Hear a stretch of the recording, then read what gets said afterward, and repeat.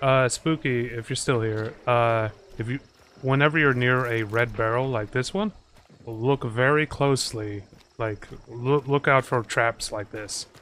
Because, uh, if you trigger one of those traps, you'll die. Like, just 100%. You'll die.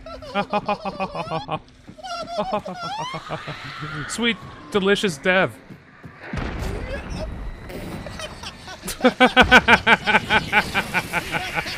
ハハハハ!